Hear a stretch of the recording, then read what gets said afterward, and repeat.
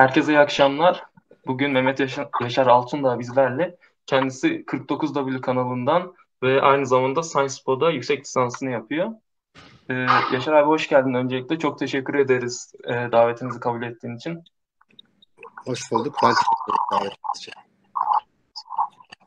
Ee, biz seni tanıyoruz ama birazcık kendinden bahsedebilir misin? Neler hakkında çalışıyorsun? İşte nerede okudun gibi şeylerden bahsedebilirsen çok memnun oluruz. Bahsedeyim. Ee, yani şöyle bir karışık hikaye var ortada. E, Fransa'da doğdum ben ama e, İzmir'de büyüdüm. Ailem işte Fransa'da yaşayacağız diye önce karar alıp sonra Türkiye'ye taşınıyorlar İzmir'e. Ardından Boğaziçi, İzmir'de liseyi bitirdikten sonra Boğaziçi'nde siyaset bilimini okudum. Siyaset biliminin yanında e, sosyoloji çapı yaptım. O dönem Sciences Po Erasmus'a gitmiştim. Erasmus'a gittikten sonra hem Paris'te devam edebilmek hem de e, Fransa'da da doğduğum için Fransa'yla da bir yakınlığım vardı. Fransa'da da yüksek lisans eğitimi alabilmek için Sciences Paris'e geldim. Bu esnada işte siyasetle de ilgili olduğum için birçok mecrada yazdım, çizdim. İşte Medyaskop olsun, Politik Yol gibi yerlerde yazılar yazdım. Şimdi de dediğim gibi 49W'da hem işte videolu içerikler üretiyoruz hem orada böyle bir akademik ve entelektüel bir hub yaratmaya çalışıyoruz. Bunun gibi işlerle uğraşıyorum yanında. Çok teşekkürler. Aslında liseli bir e, kurum olduğumuz için yani liseli öğrenciler tarafından kurulduğumuz için e, şeyi de merak ediyorum. Lise yıllarında neler yaptın? Ekstradan böyle konulara ilgin var mıydı? Yaptığın çalışmalar nelerdi? Ee, yani şöyle başlayayım öncelikle. Ee, tabii sosyal bilimlerle ilgileniyordum ama şimdi şöyle bir durum var. Ben mesela burada şimdi bazı terminolojiler kullanacağım. İşte sosyal bilimler diyeceğim. Belki güç ilişkileri diyeceğim. Belki insanlar arası işte o oluşturulan kurumların etkisi falan diyeceğim ama bunları 14-15 e, yaşımda belki bu şekilde ifade edemiyordum. Ama böyle ilgilerimin olduğunu biliyordum. E, zaten insan hani böyle şey okudukça bunları böyle daha iyi anlamlandırmaya başlıyor. Dolayısıyla öncelikle bunu söyleyerek başlayayım. Bunu söylememin sebebi şu. E, hakikaten 14-15 yaşında böyle çok süper başarılı bir şekilde e, liseye başlamamıştım. E, liseye iyi bir şekilde yani iyi bir puanla girmiştim ama e, devamında hani belki e, geç ergenliğin etkisi vesaire belki insanın e, kendi yolunu arama çabası vesaire ilk birkaç yıl iyi bir öğrenci olmadım. E, sayısal hala böyle şeyler vardır diye tahmin. İşte sayısal alır, eşit ağırlıdır vesaire. Sayısallı bir öğrenciydim ve kötü bir öğrenci olduğumu düşünürken bir noktada acaba hani kötü bir öğrenci değilim belki de e, olduğum yer doğru değildir diyerek o zaman eşit ağırlığa geçmiştim ve hakikaten e, işte bu çok klasik olacak ama hani edebiyatı çok severdim mesela. E, yani okurdum dünya edebiyatı, çağdaş edebiyat, Türkçe edebiyat. E, onların üzerine eleştirileri okumayı severdim. E, üzerine yazmayı da severdim. Aslında buradan başlayan bir ilginin olduğunu görüyorum. E, bu tabii akabinde daha sosyal meselelere doğru kaydı. E, ve hani lisede beni tanımayan ne var dersen eğer yani nedir diye sorarsan bunların zamanla böyle daha entelektüel ve sosyal düzeyde işte toplumu ve ekonomiyi ve dünyayı anlama, medeniyeti anlama çabası diyebilirim. Münazara yaptım. Hani o beni çok etkilemişti. Çünkü şunu söyleyebilirim. E, bence rol model çok önemli bir şey. Yani insana böyle bakıp ya bu insan gibi olmak istiyorum veya bu insanın çizdiği yol e, bana uygun bir yol demesi güzel bir şey ve ben e, şunu söyleyeyim. Mesela 16-17 yaşında ilk münazaraya gittiğimde orada işte üniversite münazırları vardı ve böyle işte Marx diyordu, Adam Smith diyordu, işte ne bileyim emperyalizm vesaire vesaire bir şeyler diyordu. Ve o zaman hiç görmediğim bir dünya olduğunu anladım. Yani işte ben kendim de böyle e, ne diyelim alt orta sınıf bir mahallede büyümüşüm. Öyle bir aileden geliyorum. Hani e, çevremde böyle belki çok iyi üniversite okuyan insanlar yok. Veya e, işte okumak, üniversiteye gitmek belki tırnak içerisinde söylüyorum ineklik gibi gözüküyor. Ve yani başarılı olmanın tek böyle ilişkilendirildiği şey ne? İşte yük, yüksek sayıda net yapmak, işte mühendis olmak, tıp olmak. Çevrenizde böyle işte e, sosyal bilimlere yakın ya da entelektüel faaliyetlerle uğraşan bir insan görmediğinizde böyle bir dünyanın olmadığını da görüyorsunuz ki e, yine ben sosyoloji okuduktan sonra işte e, bu benim tabii 15-16 yaşında hissettiğim bir şey ama bunların üzerine teoriler de yazılmış. Hani ben bunları böyle demin söylediğim hatırla, hatırlayabilirsiniz yani. Bunları belki o zaman bu kadar ifade edemiyordum ama bunları hissediyordum. Ve o zaman işte e, münazara yapmak benim o bütün o ilgimi daha böyle e, somutlaştırdı. Böyle insanların var olduğunu gösterdi. İşte Boğaziçi diye bir okulun olduğunu, Boğaziçi'nde insanların belki böyle şeyler tartıştığını. Yani illa işte çok e, çalışıp işte hayattan kopmuş olmak, mühendis olup işte içine şey yaptım ama yani bu kişisel bir okumanızı yapabilmek şu böyle bir duygusal bir gelişmedir aslında. Yarın bir sınavınız var ama çok canınız dışarıda vakit geçirmek istiyor, eğlenmek istiyorsunuz. Ya ben kendime set vuruyum. Bugün bunu yaparsam kendime zararlı olacak ve ben arkadaşlarımla başka bir gün takılayım. Bu bir sorumluluk bilincidir mesela. Veya işte paramı nasıl harcayayım? İşte insanlarla nasıl ilişki kurayım? Bütün bunları bir araya getirin. Yani önce kendinize dair bir sorumluluk aldığınız bir zaman dilimi. E, bence bu çok önemli bir şey. Ben o yüzden yurt dışında okumak istemiştim. Birincisi. İkincisi, şimdi malum bizdeki liseler birkaç tanesi hariç ki o da bence İstanbul'daki liseler. E, mesela ben İzmir'den iyi bir lisesinde okudum ama orada da çok fazla sosyal imkan yoktu. Dediğim gibi bir tane hocamın bizi münazara davet etmesiyle belki ben bir iki münazara turnuvasına gitmiştim ama o dönemde İstanbul'daki liseler her hafta bir turnuvaya gidiyordu. Yani Türkiye'de de zaten büyük şehirlerle küçük şehirler arasında devasa bir fark var. İstanbul'la geri kalan arasında da devasa bir fark var. Dolayısıyla bir lisenin üniversiteye geçtiğinde birçok imkana sahip olduğunu görüyoruz. Tabii bu Türkiye'deki birçok üniversiteye göre değişir ama Boğaziçi en azından kulüpleriyle var olan, sosyal hayatıyla var olan bir okuldu. İşte 50 tane fazla kulüp var ve ben e, Boğaziçi Münazara'yı 5 sene devam ettirdim. E, işte kaptanlığını, başkanlığını yaptım. Denetleme kurum yani uzun süre aktif bir üyesiydim. Ve bu kulüp benim için üçüncü mezun olduğum bölüm oldu. Ve hakikaten hayatı da biraz biraz öğrendiğim bir bölüm oldu. Yani yeri geldik kavga ettik, yolculuk yaptık, para harcadık, para kazandık, turnuva düzenledik. E, yani dramalar oldu. İnsanlar taraf tuttu, kavga etti, barış. Anladınız mı? Bunlar hayatın içinde olan şeyler ve bunları böyle sorumluluk alarak öğreniyorsunuz. İkincisi ben önce o yüzden bu üniversitenin bu sosyal kısmının çok önemli olduğunu düşünüyorum. Bak akademik kısma daha gelmedim. Akademik kısmı üzerine de tartışabiliriz ama akademiden önce bu sosyal hem kendinize hem hayata hem arkadaşlarınıza hem çevreye dair edindiğiniz bu bilgi çok önemli bir şey. Çünkü zaten sizin duygusal gelişim yaşınız bu kısım. İkincisi bir kere e, sizi dışarı doğru yani bir denge ben illa insanlar işte dışarı doğru açık olmalı, çok iletişime açık olmalı demiyorum. Ama bunun dengesini kurabileceğiniz ve bunu öğrenebileceğiniz bir yer diğeri. Tabii Boğaziçi'nin kendine dair çok farklı şeyleri de var. Yani e, Boğaziçi belki bu zaman zaman e, ve günden güne azalıyor bu iktidarın müdahalesinden dolayı ama çok liberal, işte bir sürü farklılığı bünyesinde barındıran, işte e, İslam Araştırmaları Kulübü'nden tutun LGBT Araştırmaları Kulübü'ne kadar e, her türlü siyasi fikirden insanın olduğu, rahat rahat tartışabildiğiniz. Hani bunu yine Türkiye şartlarına göre koyuyorum. Birileri der ki der ki şöyle problemleri var. Tabii ki var. Ama hani Türkiye'ye kıyaslıyorum. Bütün bunları düşündüğümüzde hani Boğaziçi benim için öncelikle bu e, bir zihin açıcı.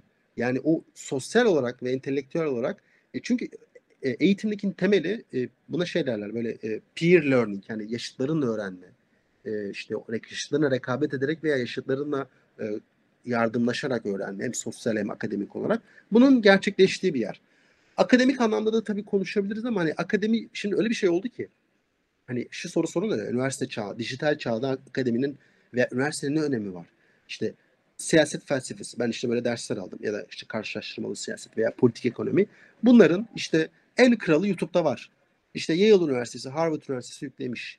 Şimdi eğer biz akademiye, üniversiteye akademik açıdan yaklaşırsak işte bilmem ne hocası ne kadar başarılı, bilmem ne hocası kaç citation almış. Şimdi bana böyle sorular geliyor. İşte abi Boğaziçi'nin mi akademik başarısı daha iyi, koçun mu? Hocalarında hangisi daha iyi? Ben dedim ki bak bu soru önemsiz bir soru. Sen e, bir lisans öğrencisi olarak bak bunların hepsi bir lisans öğrencisi olarak söylüyorum. Bir lisans boya gelince başka bir şey konuşacağız. Bunlar çok önemli olmuyor zaten. Hocanın bağlantıları, hocanın kimlerle tanıştığı bunlar tabii ki önemli. Ama hocanın işte hangi alanda uzmanlık kazandığı ve bu uzmanlıkta ne kadar derinleştiği veya kaç tane paper basıp kaç tane citation sahibi olduğu bunlar önemli değil.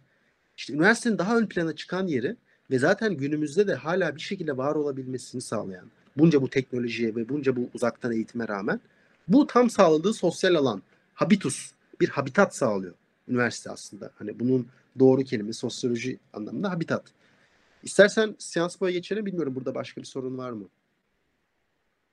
Ee, yok çok iyi olur aslında Science Boy'a geçmemiz. Ardından zaten e, akademisyenlik, sosyal bilimler hakkında bir sorun var. Sonra da çalışma alanlarının hakkında sohbet edeceğiz aslında. Şimdi bu Science Boy üzerinde şunu söyleyebilir. Birkaç tane farklılık var. Birincisi yüksek lisans zaten lisansa kıyasla daha profesyonel bir şey.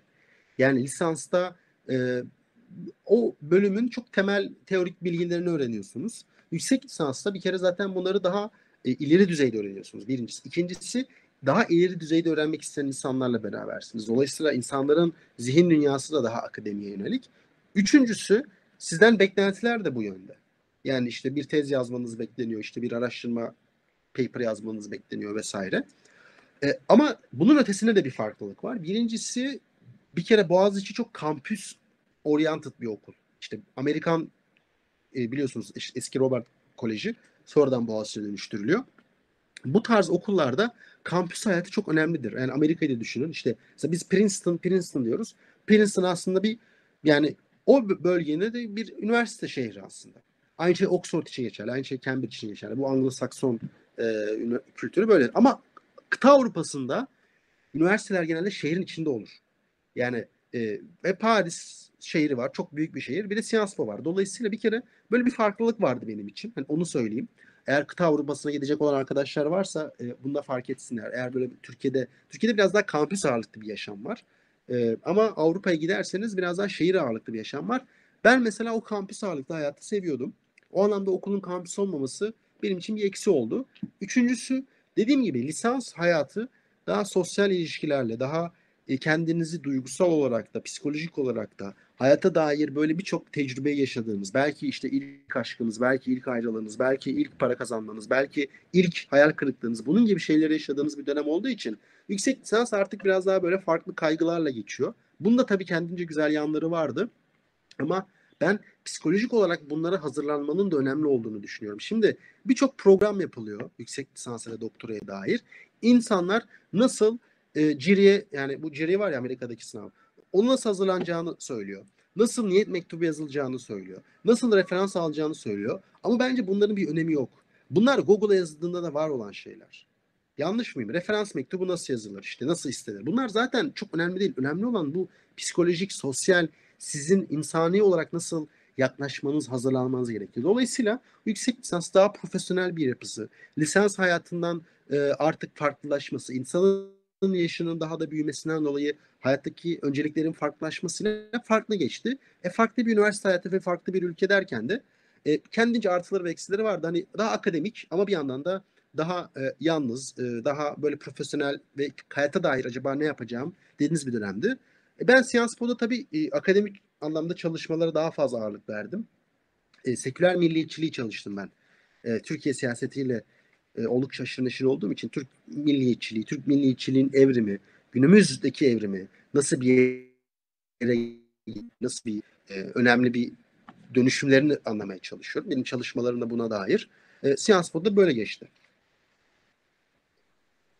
Bu, bu noktada şeyi sormak istiyorum aslında. Sen de akademi, akademiden devam etmek isteyen birisin. Ama özellikle sosyal bilimler yapısı gereği e, biraz liyakate daha az meyilli olduğunu görüyoruz. Yani pozitif bilimlerde olduğu gibi gerçek bir hakikat olmadığı için birden farklı e, ifadeleri olduğu için e, yoruma açık oluyor ve dolayısıyla e, suistimal edilebiliyor şeyler. E, bu noktada senin e, karşılaştığın şeyler hani bunu göz önünde bulundurarak hani bu yola girmeyeyim veya bu yolda bununla karşılaştığın zaman nasıl üstesinden geldin? Şimdi sosyal bilimlere dair şunu söyleyeyim. Hani e, ben de bir sosyal bilimci e, olmak istiyorum tabii ki. E, doktora devam etmek istiyorum ama şunu söyleyerek başlayayım. Şimdi sosyal bilimler e, bir krizde dünyada. İki sebepten ötürü. Birincisi buraya aktarılan para miktarı, fon miktarı azalıyor. İkincisi sosyal bilimleri yapma ve yayma imkanı da akademinin dışına taşıyor. Yani bugün YouTube'da işte akademisyenler var. Şimdi YouTuber'ları bir kenara koyuyorum. Akademisyenler var ve bu akademisyenler video çekiyor. Ve akademinin o muhafazakar yapısı ki akademi çok muhafazakar bir yapıdır. Yani işte bir paper basmak 3 yılınızı alıyor mesela. Veya işte neyi ne şekilde yazacağınız hepsi bellidir. Bu muhafazakar yapı günümüzün bilgi üretimi ve bilgi dağıtımıyla baş edemiyor. Dolayısıyla hem fonların azalması hem de bilginin bizle kurduğu ilişkinin değişimi neticesinde sosyal bilimlerde bir kriz var. Ben de sosyal bilimleri bir rekabetçi akademi için yapmaktan vazgeçtim. Ne, nedir rekabetçi akademi? Yani mesela ben dördüncü sınıfta işte Amerika'daki en iyi doktora programına gidip işte en iyi paperları yazıp en iyi kitapları yazmak isteyen, doğrudan doktora atılmak isteyen biriydim. Sonra bu fikirden yavaş yavaş uzaklaştım. Çünkü şunu fark ettim. Bu çok kişisel bir hikaye ama belki siz de bunlardan bir şey çıkarabilirsiniz. Neden bunu istediğimi sorguladım ve şunu fark ettim. Birincisi hani bir tek bunu görmüştüm. Yani şunu düşünün. Üniversite yani lisanstasınız, e, lisedesiniz. Başarılı bir öğrencisiniz.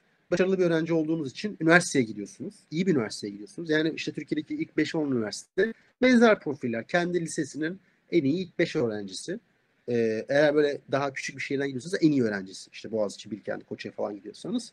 Ve sizin için lisans hayatını da başarıyla geçiriyorsunuz. Ve siz bu hayatta tatmin olabileceğiniz tek şey olarak akademik başarıyı düşünüyorsunuz. Bunun dışında bir yol olmadığını düşünüyorsunuz. Mesela ben insanlara çap yapmak istiyorum diye sorduklarına bana neden çap yapmak istiyorsun diye soruyorum. Çünkü kendisini şöyle düşünüyor. Ne kadar akademik olarak başarılı olursam, ne kadar kendimi akademik olarak başarılı gösterirsem o kadar e, mutlu olacağını düşünüyor. Çünkü başka bir şey görmemiş. Bunu bir yargı amacıyla söylemiyorum. Bunu hani bir tespit olarak ortaya koyuyorum. İkincisi çevresinde hep akademi var. Hocalar var, akademisyenler var. Onlarla te- e, teşviki mesai içerisinde ve dolayısıyla başka bir yol olmadığını düşünüyorum. Yani medya, sivil toplum, bakın özel sektörü bir kenara koyuyorum. Hani daha böyle tırnak içerisinde işte sosyal bilimlere dair yapmak bir şeyler yapmak isteyen insanlar için konuşuyorum. İşte medya dediğim gibi sivil toplum, işte bu yeni yeni ortaya çıkan meslekler, işte yazarlık falan. Şimdi bunlar e, hem yeni ortaya çıkıyor hem de bu, bunların böyle nasıl bir yolu olduğu, nasıl bir böyle patikası olduğu belli değil. Yani akademi için bir, o muhafazakarlığın kendi içerisinde bir güvencesi var. Doktora gideceksiniz, tez yazacaksınız, işlere başvuracaksınız. Her biri size işte bir sunum yapmaya çağıracak. Size bir iş teklif edecek. Ama mesela bir gazeteci nasıl olunur? Bir belgeselci nasıl olunur? Bir sivil topluma nasıl girilir? Bunlar çok bilinmediği için yine başta anlattığım işte o belki bağların kuvvetsiz olmasından insanlar çoğu sosyal bilimle ilgisi varsa buraya yöneliyor. Fakat ben işte burada kendi yolumu çizmeye çalışıyorum şu an. Hala çizmeye çalışıyorum. Çizdim demiyorum çünkü e dediğim gibi burada böyle bir belirlenmiş bir patika yok. İşte bir yerlerde yazıyorum, bir yerler için video çekiyorum. Ee, kendi akademik bilgimi daha popüler mecralarla birleştirmeye çalışıyorum ve bu çok yeni bir şey aslında. Yani e, ve nasıl bir yere gideceğini de şu anlık kestiremiyorum. PhD yapmak istiyorum, doktora yapmak istiyorum. Bunu da hem akademik literatürden kopmamak hem de oradaki o metodolojik e, zihniyeti kazanabilmek için, o işte argümantasyon yeteneğini kazanabilmek için yapmak istiyorum. Ama yine de e, farklı bir yol denemek istiyorum. O yüzden hani e, diyeyim şöyle diyeyim e, akademiden devam edip etmeyeceğim konusunda bir belirsizlik var. Farklı bir yol çizmek istiyorum kendime. Aslında bahsettiğim gibi özellikle akademiden e, devam etme konusu son zamanlarda özellikle popüler oldu. Yani mesela Zizek'tir, Jordan Peterson gibi işte ekollerle hani daha insanların e, gözü önünde olan bir şey oldu. Bu noktada şeyi sormak istiyorum aslında hani e, özellikle araştırmış bir, olarak e,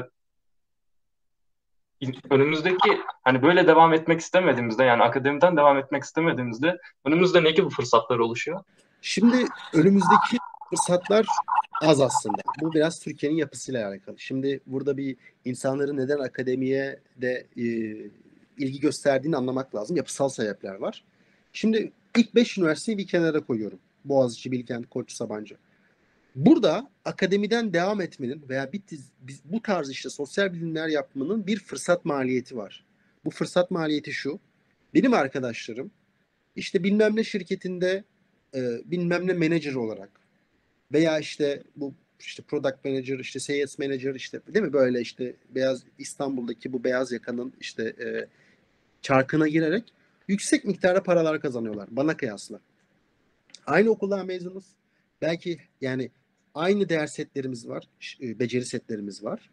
Tabii ki o işe başladıktan sonra o beceri setlerini daha da keskinleştiriyor ama hani içeri girerken dolayısıyla ilk 5 üniversiteyi böyle bir aslında noktada olduğunu kabullenmemiz gerekiyor. Neden diye bu üniversitelerle diğer üniversiteleri ayırıyorum? Ama şimdi akademisyenler özellikle büyük şehirde yaşayanlar şu an enflasyonla beraber kendi maaşlarının e, erimesinden çok şikayetçiler ama bu Ankara'da geçerli, bu İstanbul'da geçerli. Düşünün ki siz Burdur'da yaşayan bir üniversite hocasısınız. Sizin aldığınız e, akademisyen maaşı sonuçta bütün ülke için aynı. Şehir bazında e, düz, düzenlemeler çok az. Dolayısıyla siz yüksek maaş alıyorsunuz veya sallıyorum bunları. Yani X üniversitesinden mezun olduğunuzda akademiye girmek e, aslında başarılı bir şey ve e, belki de e, alabileceğiniz en yüksek ekonomik geliri oradan alıyorsunuz. Dolayısıyla bu yüzden ayırdım. Şimdi bunu bir buradaki aslında o farklılaşmayı da görmemiz lazım. Diyelim ki iyi bir üniversiteden mezun oldunuz ve önünüzde nasıl seçenekler var? İşte Türkiye'de akademinin dışında daha böyle e, entelektüel faaliyetlerle kurumsal bir ilişki kurmuş yapının az olmasından dolayı bu gazeteler, sivil toplumlar aslında önümüzde az sayıda şey var. Ve burada işte yolun zorluğu burada başlıyor. Kendinizi çok çabalamanız ve kendinizi biraz göstermeniz lazım. Yani yazılar yazacaksınız, işte YouTube kanalı kurabilirsiniz. Yani en şu an popüler olan e, ve en fazla insana ulaşabildiğiniz. E, ve burada işte biraz e, insanlarla tanışmanız lazım. Network burada çok önemli. Çünkü e, günün sonunda bu tarz işleri yapan insan sayısı Türkiye'de az. Bu network'e dahil olup işte beraber işbirlikleri, belki beraber işte bir finansal gelir modeli yaratma biçimi. Bunun gibi şeyler denemeniz lazım ama şu da şaşırtıcı değil. Bu tarz işleri yapan bizim gibi insanların çoğunun doktoradan devam etmesi şaşırtıcı değil. Çünkü doktora en azından sabit bir gelir oluyor. Dolayısıyla burada işte bir yandan doktora yaparken bir yandan böyle işlerle devam etmek. Yazı yazmak, video çekmek, bir yerlerde belgesel hazırlamak bir opsiyon olarak düşünülebilir. En azından bizim yaşlarımızda. Belki 30-35'li yaşlarınızda artık kendiniz bir e, network kurduğunuzda, bir isminiz olduğunda belki hani sırf yazdığınız yazılar, sırf çektiğiniz videolar, sırf hazırladığınız belgesellerle hayatınızı idame ettirebilirsiniz ama e, kariyerinizin başında aynı anda birkaç şey yapmanız gerekiyor.